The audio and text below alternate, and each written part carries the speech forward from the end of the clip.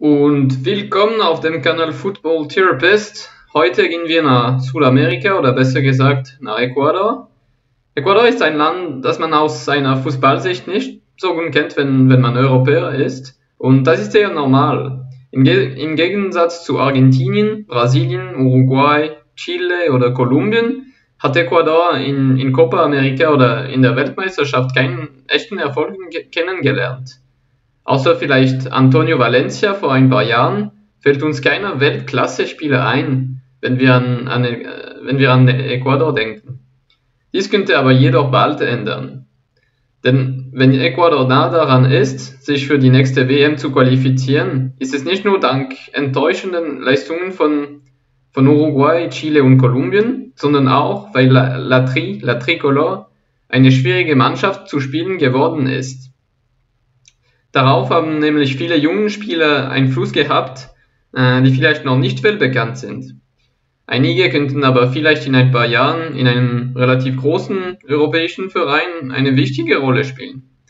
Ich denke zum Beispiel an Piero Incapié, Moises Caicedo, Alan Franco oder Gonzalo Plata, die alle zwei gemeinsam, die alle zwei Gemeinsamkeiten haben. Die erste ist, dass sie in meinem nächsten Video analysiert werden und wichtiger ist die zweite. Alle kommen aus dem gleichen Club Independiente del Valle. Und dieser Verein ist eben das Thema dieses Videos aus einem bestimmten Grund, den ihr jetzt sicher geraten habt. Sein Nahrungsleistungszentrum ist erfolgreich und zwar, es ist seit ein paar Jahren das Beste im Land. Es ist dann kein Zufall, dass die, die erste Mannschaft seit ein paar Jahren auch Erfolg hat.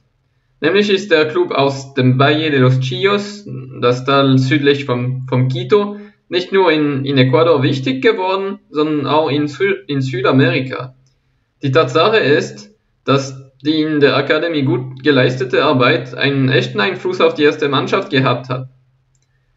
Zwar besteht diese seit Jahren aus vielen Spielern, die durch das Navus Leistungszentrum gegangen sind. Überraschend ist es dann nicht zu erfahren, dass die U20-Nationalmannschaft von Ecuador 2019 äh, bei der Kategorienweltmeisterschaft die Bronzemedaille gewonnen hat und das Independiente del Valle äh, 2020 die U20 Copa Libertadores gewonnen hat. Die Titel von IDV begrenzen sich aber nicht an, an die Jugendkategorien, denn die erste Mannschaft äh, 2016 Finalist der Copa Libertadores war und 2019 hat, hat sie die, die Copa Sudamericana gewonnen. Ein Pokal, das, das man in Europa mit dem Europa League ver vergleichen kann. Was aber prägender als dieser Titel war, war die Spielweise, die der spanische Trainer Miguel Ángel Ramírez in die Mannschaft eingeführt hatte. Mit ihm waren das Positionsspiel und das Pressing auf, auf dem Feld sehr auffällig und das zeigt den, den Zusammenhang mit, mit den anderen Mannschaften des Vereins, da alle die gleichen Spielprinzipien haben. In der Akademie gibt es eben auch diesen Willen, de, den, Ball, den Ball zu erobern und in den Ballbesitzphasen warten die Spieler auch, bis, bis, die Gelegenheit, bis, sie die, die, bis sie die Gelegenheit haben, Entschuldigung, eine richtige Torchance herauszuspielen, statt grundlos lange Bälle nach vorne zu schicken.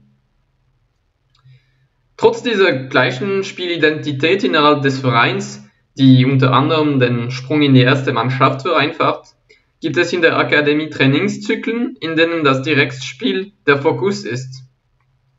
Der Grund dafür ist, dass es Spieler gibt, die die erste Mannschaft nicht erreichen werden, sowie Spieler, die zu gut für die äquatorianische Liga sind. Das bedeutet, viele Sp Spieler werden sich sowieso an eine andere Spiele anpass Spielweise an anpassen müssen. Und für IDV ist es eben wichtig, solche Spieler verkaufen zu können, damit der Club mit diesen Transfersummen weiter wachsen kann. So ist eigentlich das Vereinmodell dort. Independiente del Valle bereitet seine Player so, aber nicht nur aus äh, finanziellen Gründen, denn der Club einen wahren Willen hat, den, den Academy-Spielern zu helfen und, und sie auszubilden und, und ist nicht nur auf einer fußballischen Ebene.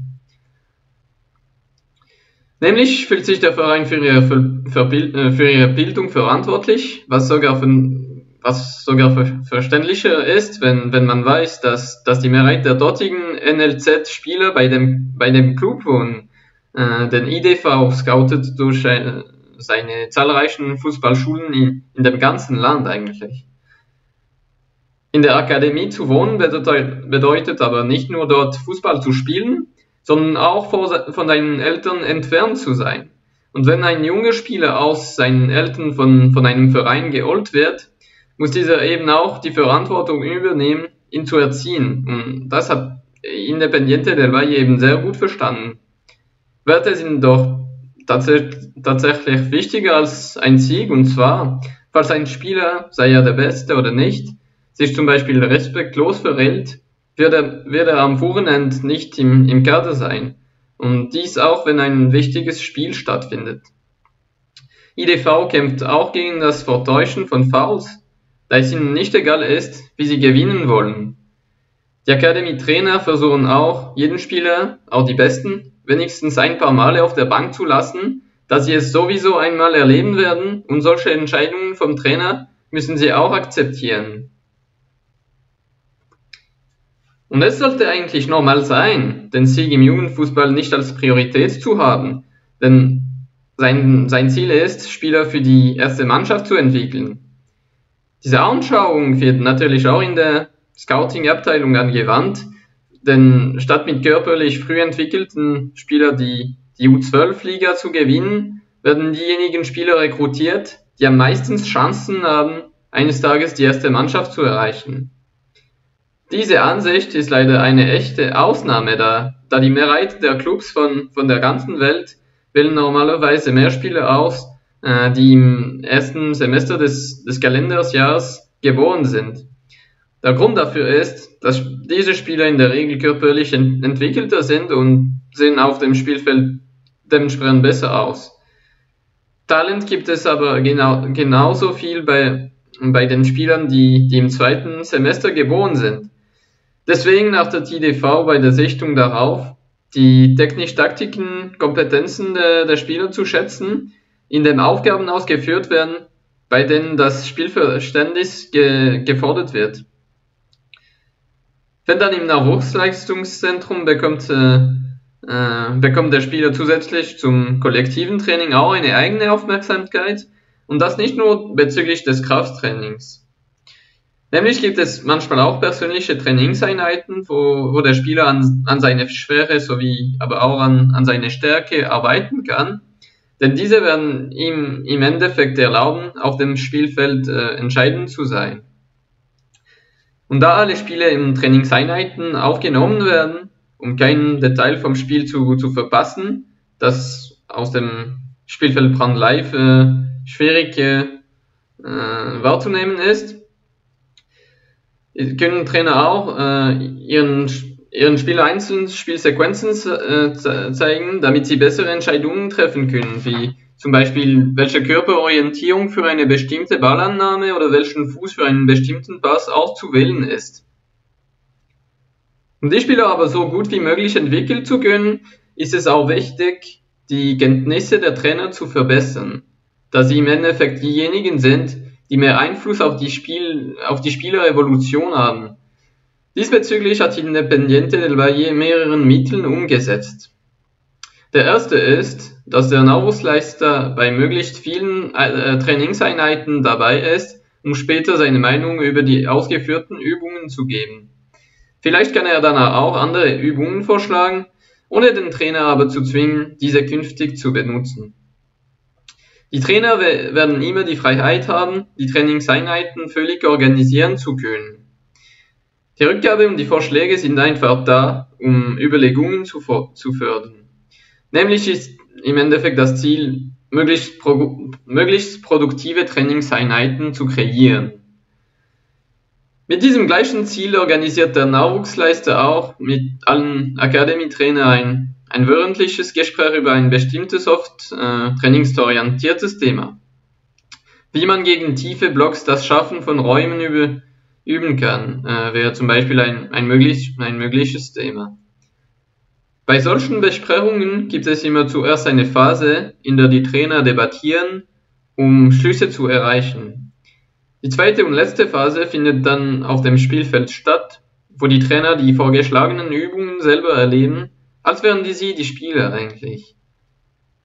Bis dahin habe ich in großen Zügen äh, die Arbeitsgewohnheiten von Independiente del Valle erwähnt, die meiner, die meiner Meinung nach in allen Nachwuchsleistungszentren auch ausgeführt werden sollten, wenn möglich.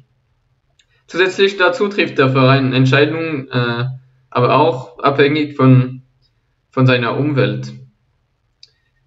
Zu, wisse, zu wissen ist es Beispiel, Beispiel, beispielsweise, dass seine, Jugend, dass seine Jugendmannschaften keinen richtigen Wettbewerb haben, weil die besten Talente vom, von Ecuador in, in den Club zusammengebracht werden.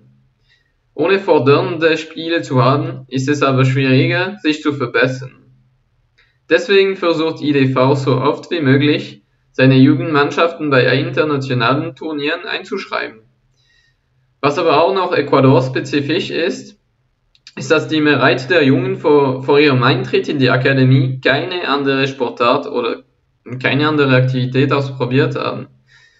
Obwohl die dortige Armut ein, ein Grund dafür ist, setzen einige Eltern aber auch ihren Sohn unter Druck, dass sie eben die Hoffnung haben, dass der Sohn mit einer Fußballkarriere ihre, fin ihre finanzielle Lage verbessern würde. In einem solchen Kontext ist es eben wichtig, dass die Kinder oder besser gesagt die Jugendlichen auch etwas anderes kennenlernen können. Nicht nur um den Alltag abzuwechseln, sondern auch um, um herauszufinden, ob Fußball ihre wahre Leidenschaft ist. Andere Sportarten sind für Fußballspieler aber auch interessant. Judo erlaubt ihnen einen besseren körperlichen Kontakt mit, mit den Gegenspielern sowie ein, eine bessere Fallkompetenz zu haben, während Basketball die Armkoordination fordert, zum Beispiel. Jetzt, jetzt habe ich alles gesagt, glaube ich. Äh, falls du mein nächstes Video nicht verpassen willst, in dem, die, in dem ich die, die vier erwähnten Spieler aus der Independiente del Valle Academy vorstellen und analysieren wir, werde, kannst du dich an meinen Kanal sowie an meinen Twitter-Account äh, abonnieren. Und wenn dieses Video dir gefallen hat, kannst du es mir in den Kommentaren schreiben, auf Like klicken, sowie das Video weiterverteilen. Es würde mir wirklich helfen. Ciao.